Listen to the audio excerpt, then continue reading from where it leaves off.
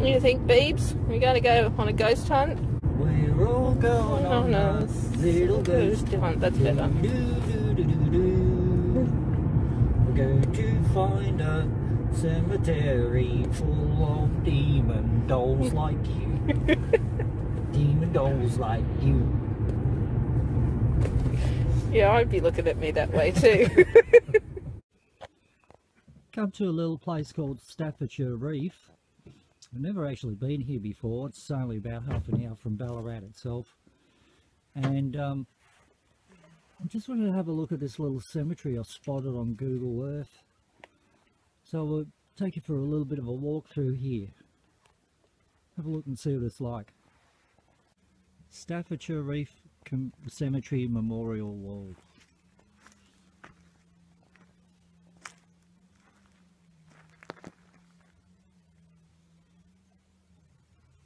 Okay. So we've got somebody here. It's from Scotland. And we've got a lady here who was from hmm, wherever. Not too sure.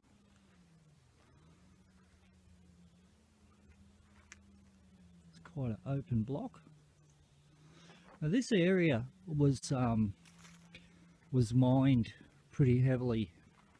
Staffordshire Reef, they actually found quite a bit of gold. So, you know, there could be a few more burials and around this area than what it looks like. It doesn't look like there's too many burials here, but we'll go and have a bit of a prowl around, see what we can find. So this is Graham's bench. Hello Graham. Baby's just having a chill. Yep, Beavy's having a chill. Seems like this cemetery is still used today. There's a couple of um, 2017, 2018 burials. There's a couple of curious old ones we'll have a look at.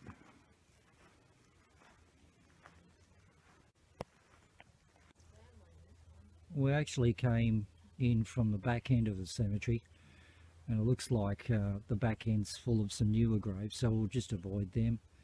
We'll have a look at some of these new ones. Also got a, a K2 with me.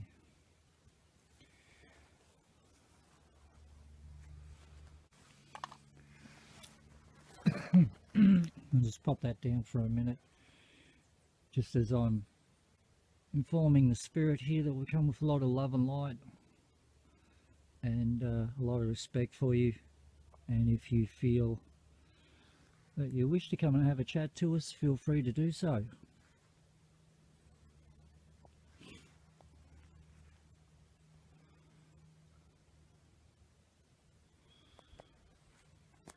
Have a bit of a wander around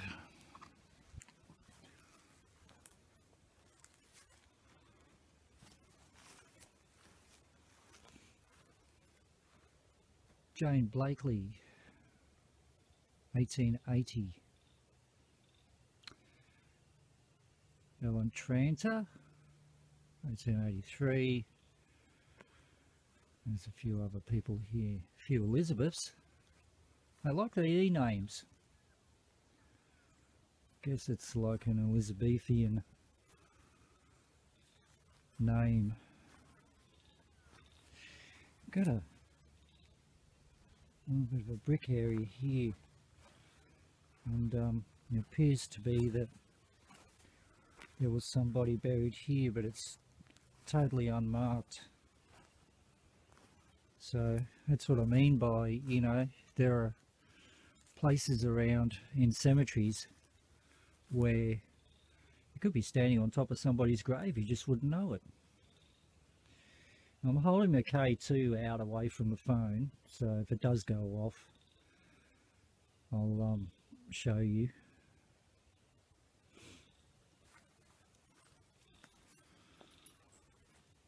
Let's Just a little bit of a concrete slab there. Bethany's gone walking around with her little um, demon doll, we call her. A lovely little doll. Again, no headstone or marking, so we send blessings to this person and that little building over there must be some sort of a toilet or whatever. The ground seems to be sort of like undulating and shifting a bit. I'll have a look over this way.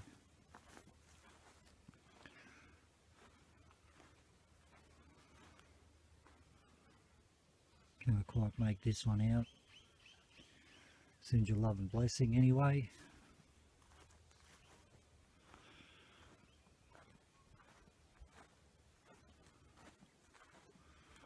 Joanna. I like the name Joanna. My sister's name Joanna. This Joanna died in 1893 along with a Henry and a Sarah buried here. Um, Sarah 1870 and this has been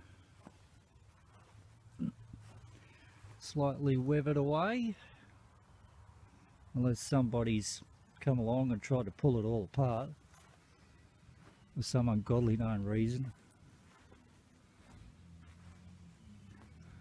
Bethany's up the back there, I think she's found something.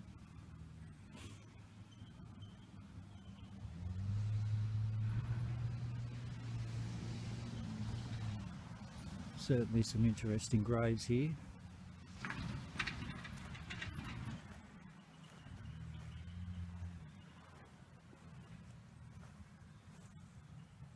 This one's a little bit difficult to make out.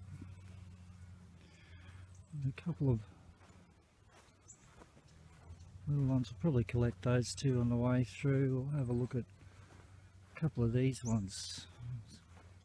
Walk around in circles here. Well this one was built rather solid. Got some pretty mean spikes on the top there. They didn't want anybody jumping over on that one.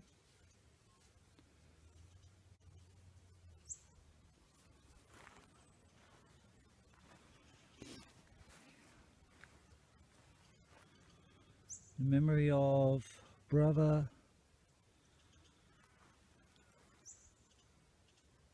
C.H.A. Wellmans who was accidentally killed on the 26th of April 1865 I think it says age 33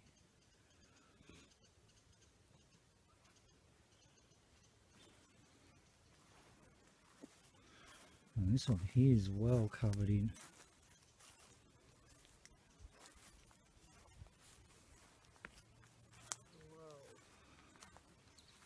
Interesting one. This one's been well overgrown. Whoa. Frederick William. I can't read the rest of it. Anne Catherine, someone or other. I'm assuming that's his wife, Could be. but the energy. Like they're all pretty neutral, Mm.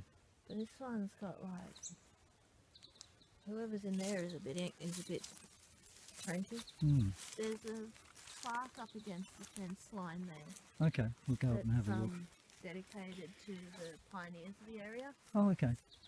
I I'm just read. holding the um, K2 away from the phone. Another This old one. Okay, we've got some kids here. This one's got Hmm. the 1911. She's one was 19, one was 11, and one was 15 years. Okay, and this one here, There is a plaque, but I can't see it. they've got a a plaque over there. tree growing out of it. There's a plaque there, This will be a. but this is that grass that cuts. Oh, yep, yep. So I'm yeah. not. It's the razor grass. Yeah, I'm not going there. That hurts. I learnt that as a child. That young. So where was the plaque over here? Over there. So there's the plaque and there's the original Oh, okay. subscription. I can't get down to see it. But Yep. Brown keeps that down for me. Still holding the K2 and nothing's happening apart from now because I've got it near the phone.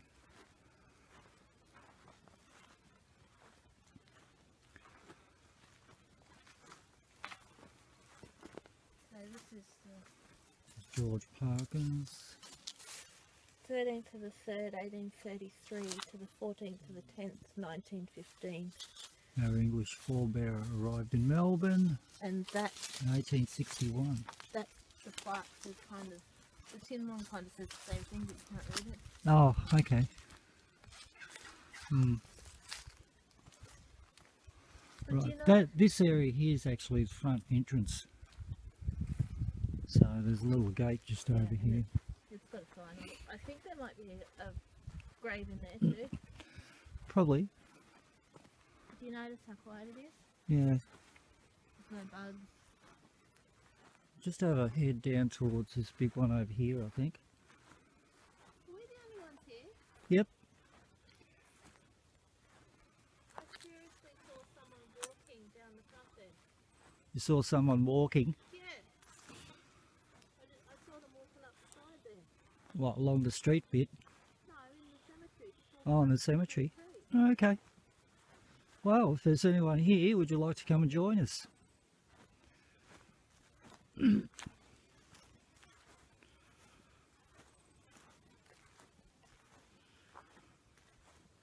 you like to come and say hello?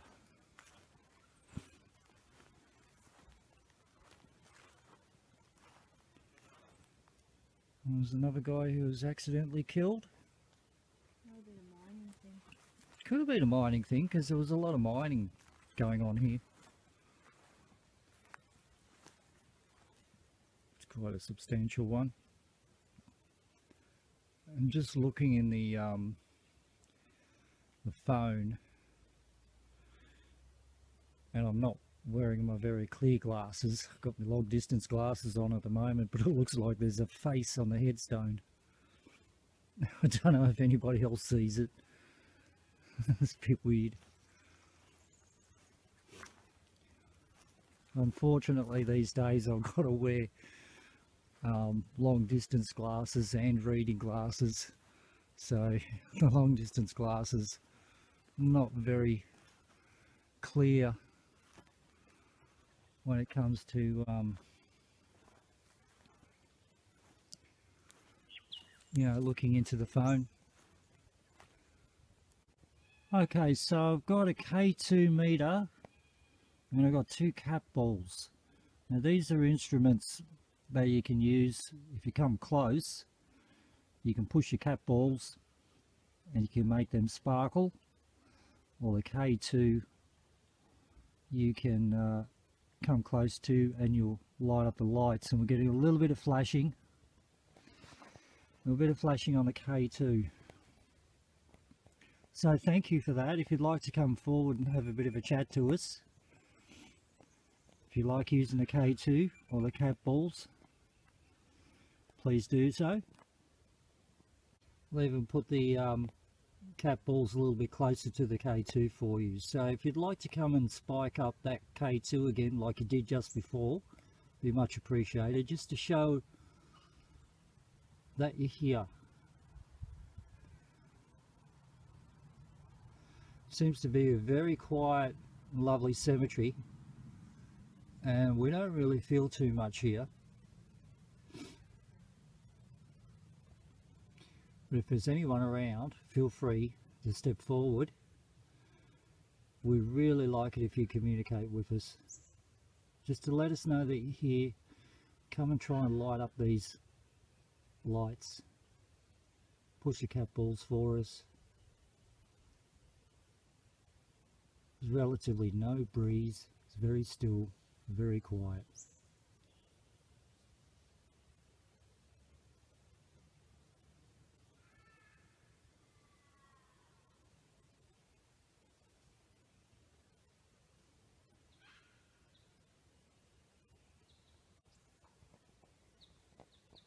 Once again, if there's anyone here who'd like to come and communicate with us, be much appreciated. We come with a lot of respect for you. We'd love to hear some of the stories of your lives, what it was like living here. We wonder if you worked the mines here.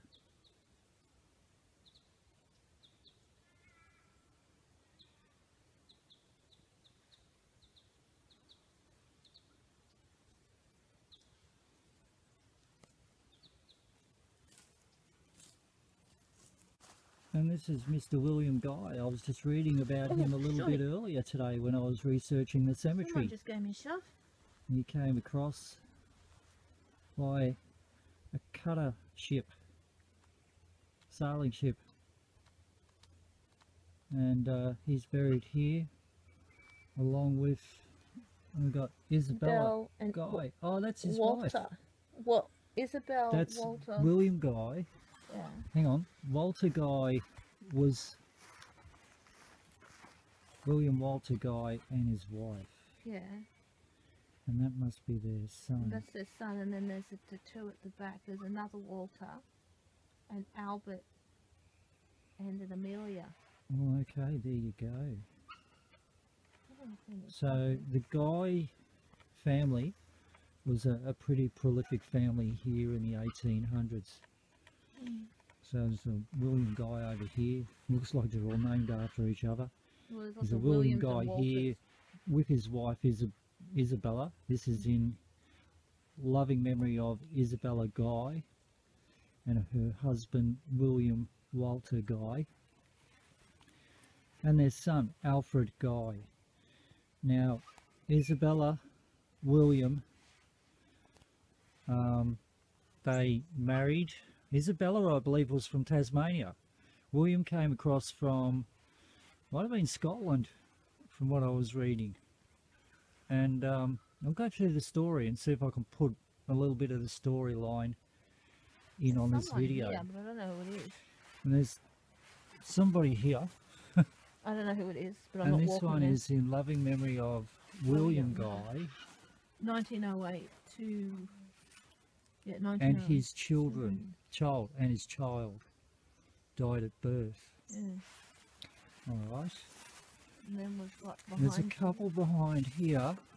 We've got Helen Knox Guy. Okay. we've got Well, Charles it seems like that the family the Charles Leslie Guy. Charles Leslie Guy, husband of Helen. Mrs. Helen Knox Guy. And over here. So it seems like the family stayed in the area and were a very prolific family. Here we've got Walter Guy, Walter Guy, Amelia Edith, and Albert. And then there's the latest one over there. so there's a few Lots of guys. Walters and Williams. And this is Alan. That was, that's two- Okay. that's 2000. And, that's 1984, So this that's is uh. A very looks like well known one here. family. There's a new one. And that's Alan Vivian Guy Yeah. over there. This is Adrian Mary, Mary. Guy. And dearly daughter loved Patricia, Alan, John, love sister of John, David and Stephen. Stephen. Alan's over here. Just there's someone there though. Yep, That's a new we've one. got then we've got the Mum Mark Gray Frasers. there, And then we've got there's Helen. and back to Helen and Charles. And then we go with Scots. Okay, we've got Alfred, Roy, and Alice. And then there's another family. yeah, we're not going to go through the new ones. They're all a little bit too new. Yeah. And steer clear of the newer ones. Um, but yeah, that's interesting because I was reading about the Guy family as I was doing some research to find out where this place was.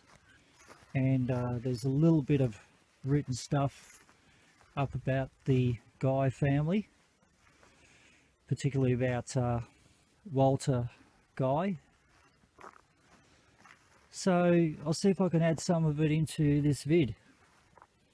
Alright, well cheers to all the spirit that here today If any of you are in the background watching us, we come with respect.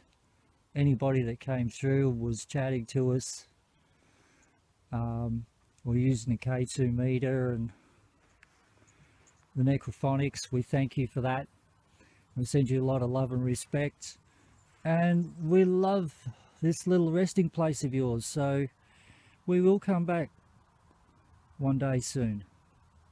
I'll have a chat to you. Cheers. Well, it's a tough life, this afterlife, being a demon doll. My spirited baby, she's gone to sleep. Bye.